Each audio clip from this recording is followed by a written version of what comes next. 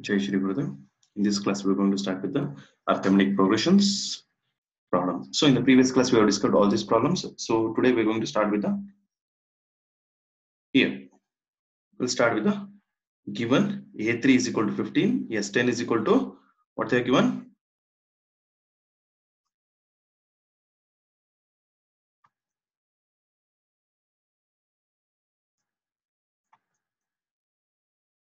Okay.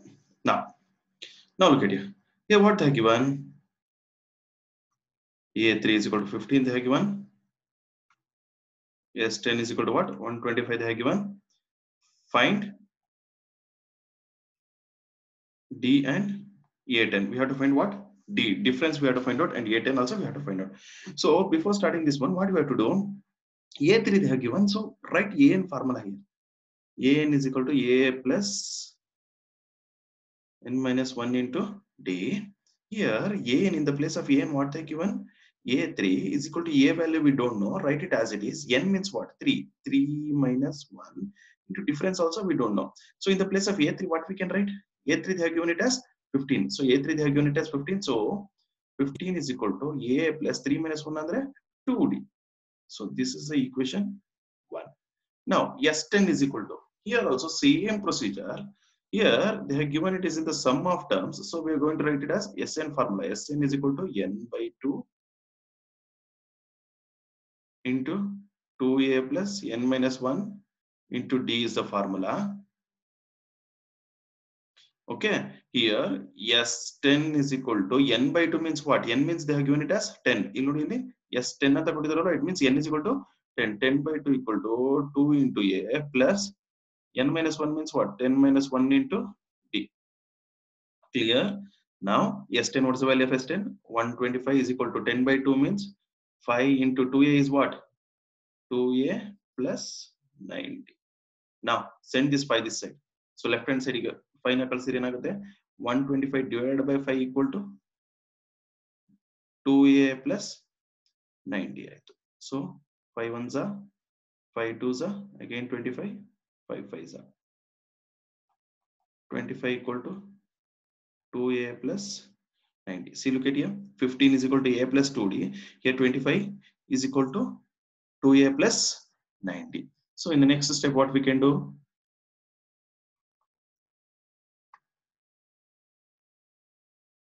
See here.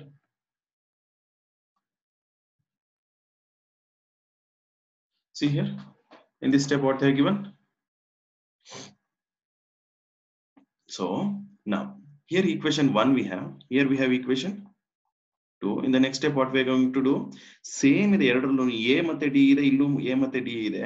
So ಇಲ್ಲೇನ್ ಮಾಡ್ತೀವಿ subtracting equation equation 1 from 2. Equation 1 ಅನ್ನ 2 the subtract ಮಾಡಿದ್ರೆ ಏನ್ ಬರುತ್ತೆ? So now look at here. 15 is equal to A plus 2D equation 1. ಅದನ್ನ twenty five is equal to two A plus ninety ಇಂದ subtract ಮಾಡಿದಾಗ ಏನಾಗುತ್ತೆ? ಸೊ ಇಲ್ಲೆಲ್ಲ ಸೈನ್ ಚೇಂಜ್ ಆಗುತ್ತೆ. It will become minus it will also become minus so what will happen plus and minus sign is there so we have to subtract so sorry sorry sorry we had I had mistake here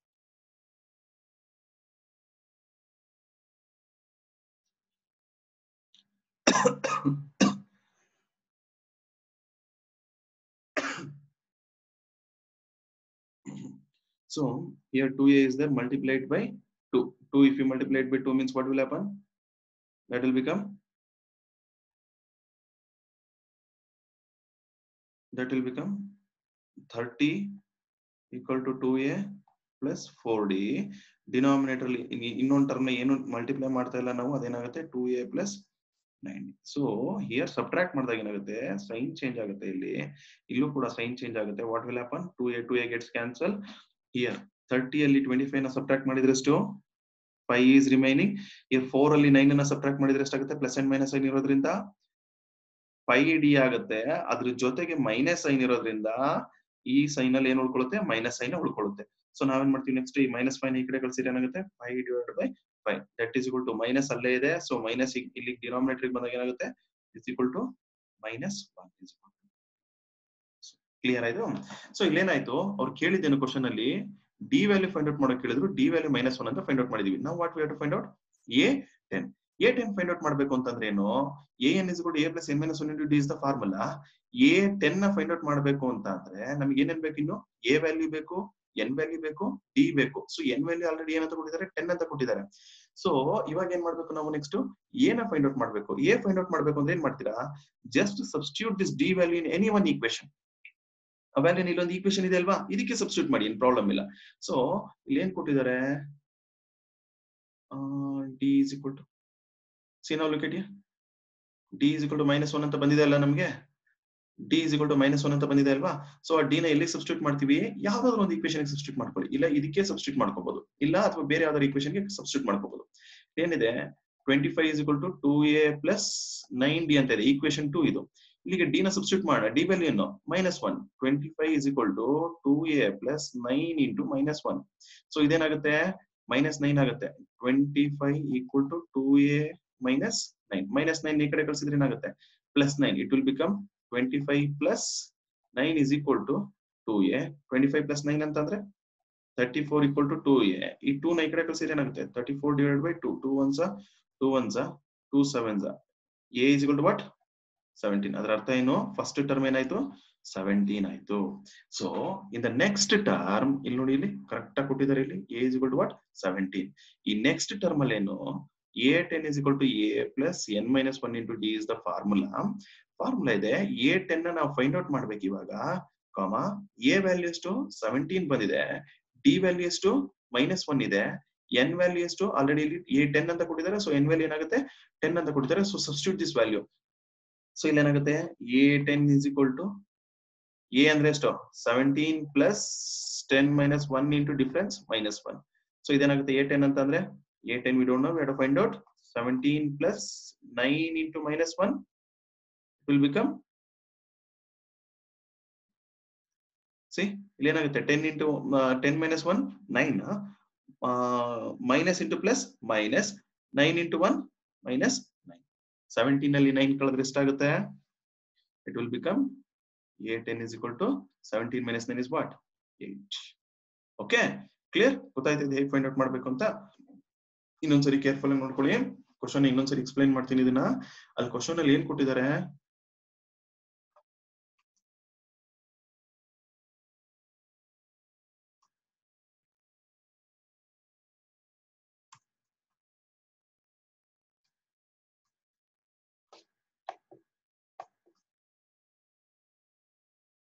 C, ಇಲ್ಲಿ ನೋಡಿ, ಏನ್ ಕೊಟ್ಟಿದ್ದಾರೆ ಇಲ್ಲಿ?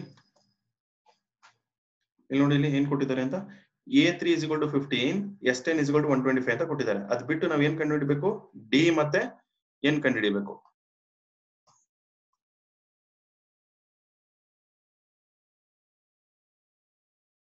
See here ಏನ್ ಕೊಟ್ಟಿದ್ದಾರೆ? A three ಕೊಟ್ಟಿದ್ದಾರೆ fifteen ಅಂತ S ten is to one twenty five ಅಂತ ಕೊಟ್ಟಿದ್ದಾರೆ. So a three is to fifteen ಅಂತ ಆಲ್ರೆಡಿ ಗೊತ್ತು. S ten is to one twenty five ಅಂತ ಗೊತ್ತು. ಸೊ ನಾವೇನ್ ಮಾಡ್ತೀವಿ? ಎ ಎನ್ ಫಾರ್ಮುಲಾ ಯೂಸ್ ಮಾಡ್ಕೊಂಡು ಎ ಮತ್ತೆ ಫಿಫ್ಟೀನ್ಗೆ ಒಂದು ವ್ಯಾಲ್ಯೂ ಸಬ್ಸ್ಟಿಟ್ಯೂಟ್ ಮಾಡ್ಕೋತೀವಿ. ಅದ್ರ ಅರ್ಥ ಏನು? A n is to a plus n minus one into d formula ಹಾಕೊಂಡು ಈ ಎ ಟೆನ್ ಎ ತ್ರೀ ನ ಸಬ್ಸ್ಟಿಟ್ಯೂಟ್ ಮಾಡ್ಕೋತೀವಿ. A three is to fifteen ಅಂತ ಬರುತ್ತೆ. ಎನ್ ಜಾಗದಲ್ಲಿ ತ್ರೀ ಇದೆ ತ್ರೀ ಮೈನಸ್ ಒನ್ ಅಂದ್ರೆ ಟೂ ಡಿ ಅಂತ ಬರುತ್ತೆ. So here will get an equation ಇದನ್ನ ಸಾಲ್ವ್ ಮಾಡಿದ್ರೆ ಒಂದು ಈಕ್ವೇಶನ್ ಸಿಗುತ್ತೆ. ಅದೇ ತರ ಇಲ್ಲಿ ಎಸ್ ಟೆನ್ ಕೊಟ್ಟಿರೋದ್ರಿಂದ ಸಮ್ ಆಫ್ ಫಾರ್ಮುಲಾ ಹಾಕ್ಬೇಕು. ಸಮ್ ಆಫ್ ಫಾರ್ಮುಲಾ ಹಾಕಿದ್ರು ಇದೇ ತರ ಇನ್ನೊಂದು ಈಕ್ವೇಶನ್ ಸಿಗುತ್ತೆ. ಇಸ್ ದಟ್ ಈಕ್ವೇಶನ್ ಯಾವ್ದಾದ್ ಈಕ್ವೇಶನ್ ಸಿ ಸಿ ಇಲ್ಲಿ ನೋಡಿ S ten is to a plus n minus one into d ಹಾಕ್ತಾಗ್ಲೂ ಕೂಡ ಅಲ್ಲೊಂದು ಏನಾಗುತ್ತೆ? ಈಕ್ವೇಶನ್ ಬರುತ್ತೆ. ಆ ಈಕ್ವೇಶನ್ ಸಬ್ಸ್ಟಿಟ್ಯೂಟ್ ಮಾಡಿದಾಗ ಏನಾಗುತ್ತೆ?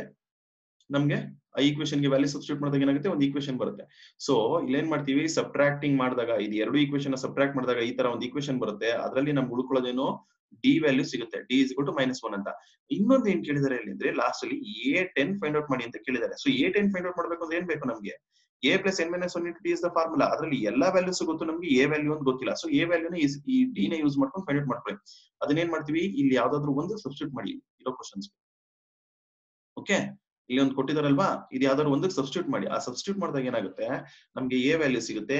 ಎ ಇಸ್ ಟು ಸೆವೆಂಟೀನ್ ಅಂತ ಸಿಗ್ತಾ ಇದೆ.